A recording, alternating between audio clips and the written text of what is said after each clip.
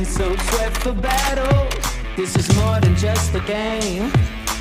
Breaking through the silence. It's time to stand up, face up to the fear. It's time to rise up. Now is the moment. Now is the time to win